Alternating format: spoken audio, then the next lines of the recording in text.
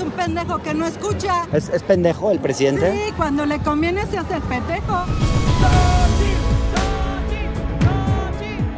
Que se escuche desde aquí, desde este monumento emblemático. Bueno, estamos en el Starbucks, que es donde se congregan pues muchos de los seguidores eh, de Xochitl. Eh, como ven ustedes, están casi todos aquí tomando café, disfrutando la mañana y cómodamente escuchando a su candidata. Vamos a ver si eh, alguno de ellos nos quisiera participar de su sentimiento en este día tan, eh, tan importante para los Xochitl lovers. ¿Qué le gusta de Xochitl? su energía, su valor de mujer, de enfrentar verdaderamente las necesidades, pues apoyándola, creyendo en ella. Su autenticidad. Ajá, le parece una mujer auténtica. Sí. ¿Te gusta Xochitl? Me gusta. ¿Qué te gusta de Xochitl? Que es una persona que salió desde abajo. Viene de abajo. Sí, viene de abajo. ¿Cómo logró Me- me consta. llegar arriba? ¿Cómo logró? Ajá. Pues fue empresaria, estudió, se educó, Ajá. cosa que López no quiere que la gente haga. O sea, no, No, no no, se quiere educar. no fue una persona floja como otros que por eso son pobres. Ya estás como Loret, que todo lo, lo va sesgando, sesgando. No, no manches. ¿Tú eres Xochitl lover? Eh, pues sí, A morir. eh, pues sí. Morirías por Xochitl. Ah, No, no tanto, pero sí votaría por ella. Es natural, Ajá. eh, no es falsa como AMLO. AMLO es falso. Es falso, no es natural.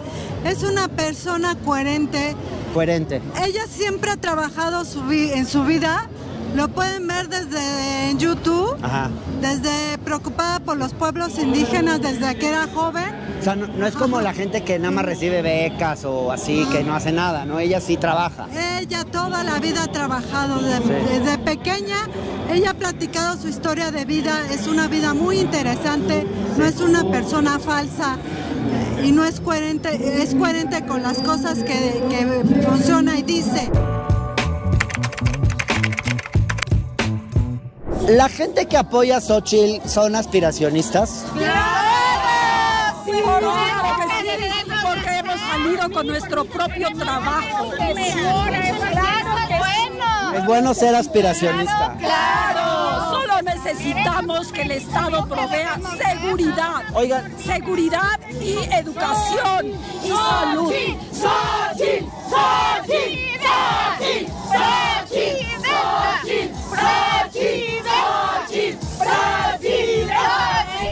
Arriba los aspiracionistas, arriba la gente que realmente trabaja Ya. para pagar impuestos, para que México salga adelante.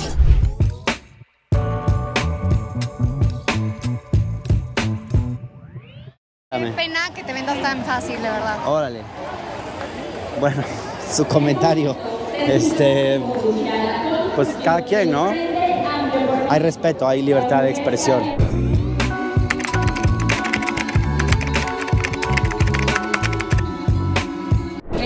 Es algo que venimos hablando desde hace mucho tiempo.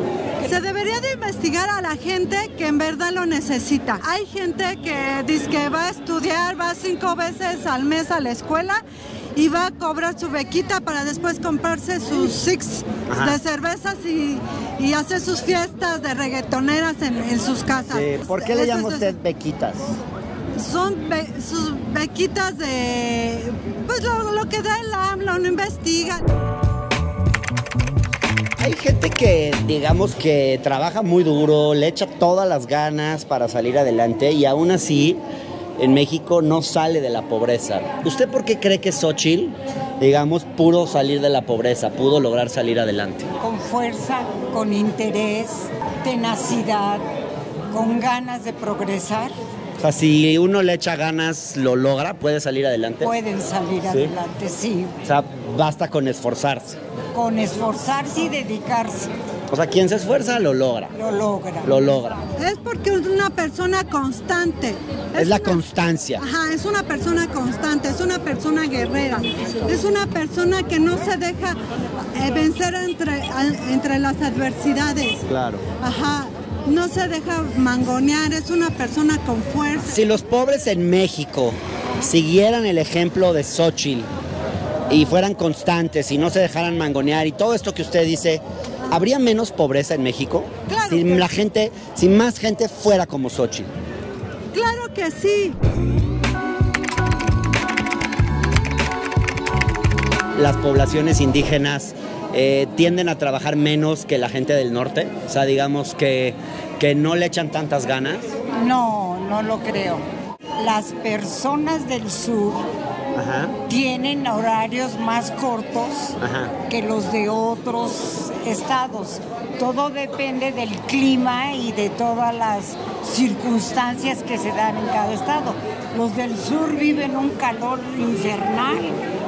No pueden estar...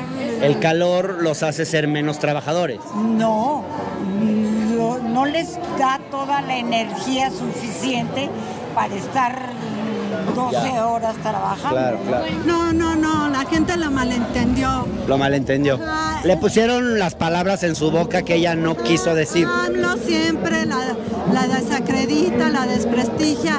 Ah, o sea, el que inventó eso fue AMLO. Nada, ese señor, nada. O sea, no fue Xochitl la que lo dijo. Se señala así. Si él dice, tú eres una mierda, se está señalando él mismo, yo soy la mierda. O sea, no le hagan nunca caso. ¿Usted cree que él es una mierda? Él es una mierda. sí. ¿Por qué es una mierda AMLO? Yo voté por él. Ajá. Me desilusionó ¿De al veras? 100%. ¿Con todo y la banderita del PAN? Todo. Yo me uní al PAN al 100%. Por la desilusión que le Por la causó. desilusión que tengo de este señor. Yo lo probé eliminando las micheladas que me generaban tremenda violencia en el barrio de Santa Julia y simplemente con aplicar la justicia cívica se re- redujeron los homicidios. ¿Cree usted que para disminuir el índice de homicidios en México serviría clausurar los negocios ilegales de micheladas? Ay, yo digo que sí. Sí serviría. A mi, a mi parecer, bajarle sí.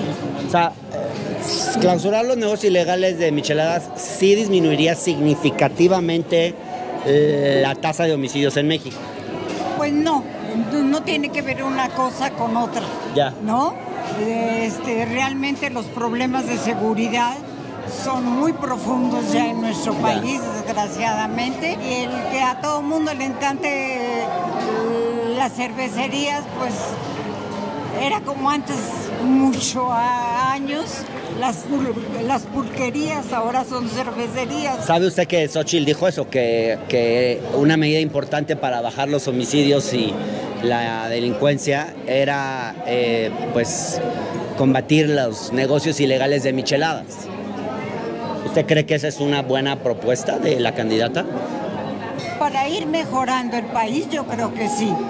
Porque Sí. vemos que los jovencitos, muy jovencitos, salen de la secundaria para meterse a, Micheladas. a los micheladas. Hay un exceso de micheladas que lleva a los jóvenes a delinquir en México.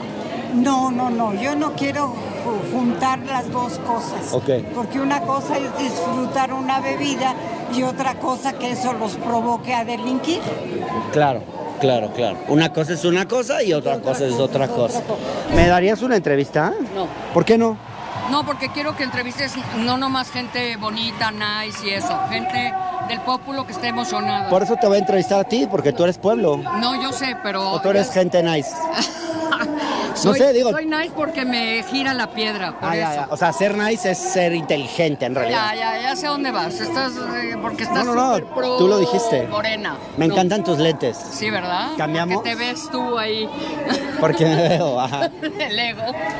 ¿Ustedes creen que con Xochitl vamos a volver a ser ese gran país que éramos No vamos antes a de que volver a nada. una cosa, nos dejaron, nos dejaron un cochinero.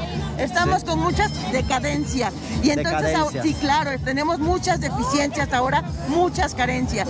Va a ser muy difícil. Nosotros creemos que debemos de trabajar muy fuerte porque los hospitales están destruidos, las carreteras están destruidas, hay 180 mil personas muertas. ¿sí? Entonces, o sea, la- la- simplemente Oigan, todo- según los datos de Coneval, basados en la encuesta nacional de ingreso y gasto de los hogares de INEGI, Ajá. hay en México hoy 5 millones menos de pobres. No.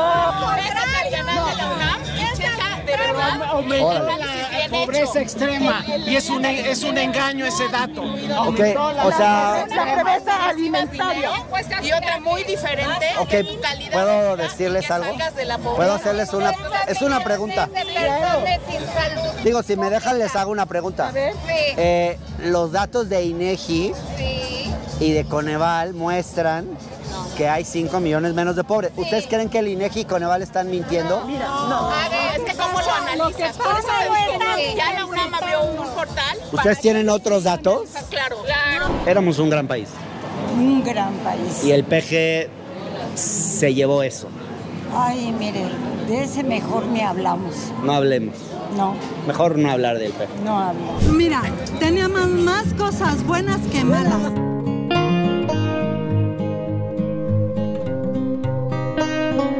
Pagó con la propiedad de la casa que ya habitaba, es decir, la casa de Paseo de las Palmas.